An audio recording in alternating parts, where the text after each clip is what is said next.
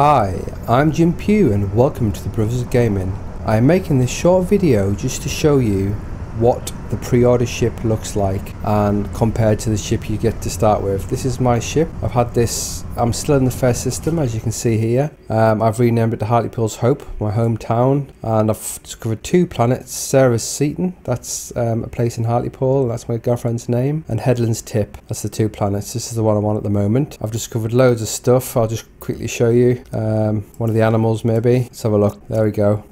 I've renamed them as well and uploaded them. Dwarf Ewok I've called him because he looks like a Dwarf Ewok. He's pretty cool. Anyway, without further ado, let's have a quick look at my ship.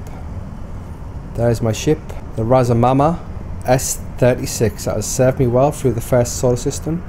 Now, I'll just give you a little word of warning. Before you trade in your bonus content for your pre-order ship, what you need to do is make sure you've completed so far through the game where you've got this. Let me show you. As you can see, uh, the old Starship has 15 slots. You must have unlocked this hyperdrive before you claim your ship. I don't know if this still stands true, but to me it's not worth the risk. But yeah, I've got this. If I wanted to, I could get one of those dynamic resonators off the market in this port. But what I'm going to do instead of making hyperdrive for this ship is I'm going to see what this other ship is like. So there you go, your 15 slot starter ship, the Razamama S36. I will miss this ship, but uh, you just have all you have to do is press escape, go to options, uh, redeem bonus content, and there we go, Horizon Omega ship. This is the pre-order ship. And you only get this if you bought the game before the, the, launch date if you took the risk like me. So I'm going to do that now and see what happens. It's the first time I've done it so I don't know what's going to happen but let's see. Okay. So there's an extra slot on this ship and it comes with all this stuff. Hmm. And it's already got a hyperdrive. That's good. I'm going to compare it. So that's my current one. This is the one I'm going to get it says abandoned starship now but can I transfer stuff across see hold X to transfer items between inventories. So I can't put them across. I can't put all this across, so that's alright. I'll, I'll do that. So this is what you got to do so you don't lose your stuff that you've already got. I can dismantle that. Let's dismantle everything. Now, it's not letting me dismantle these, which is a shame. But it's let me dismantle everything else, so that's okay. So now I'm going to accept and see what happens. Okay build a hyperdrive. It thinks I've done it, but I haven't actually done it yet, but I have got... I've just got to fuel it now, but where is my ship? Where the hell is my ship? I've just claimed my ship. I did say I didn't know what was going to happen. I'm sure if I can build a bypass chip, I should be able to call it. Oh, another milestone accomplished. It's probably something to do with building the hyperdrive.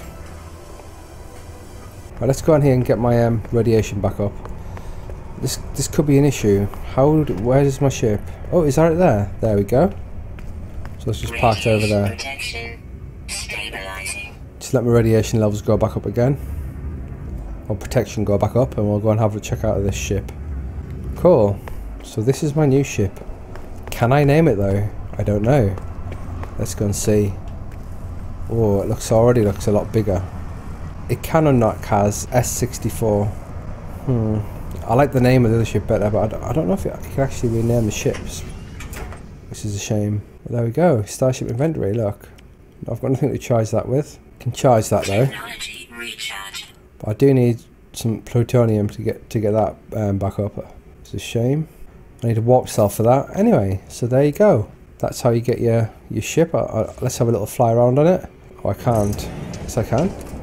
I'm talking rubbish.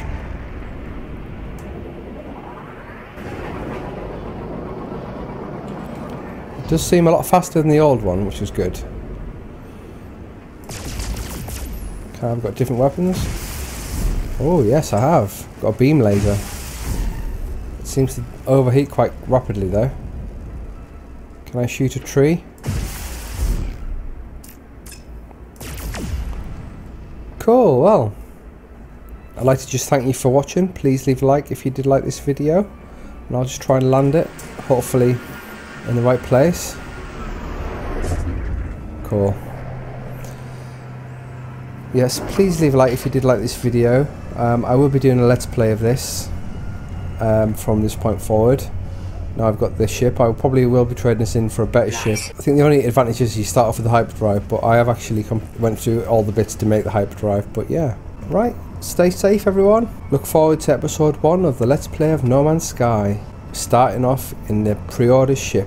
And if anyone knows how if you can rename ships, I don't think you can, but let me know in the comments. Uh, leave a like and uh, subscribe so you don't miss out on the future content. And stay safe, and I'll see you later. Bye.